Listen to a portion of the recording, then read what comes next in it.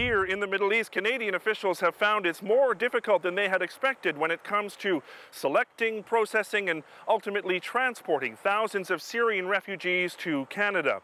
Three charter flights are expected to arrive in Toronto today from the region. And if all goes as planned, that means some 6,000 Syrians will have been resettled by the midnight deadline tonight. Course, that means Ottawa will have missed its goal by about 40 percent.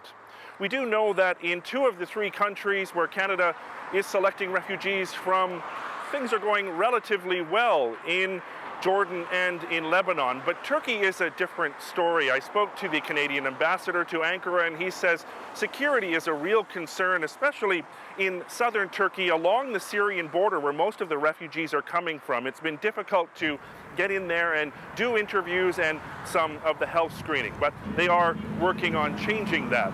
In the new year, they hope the first flight from Turkey will take off from an airport in that country.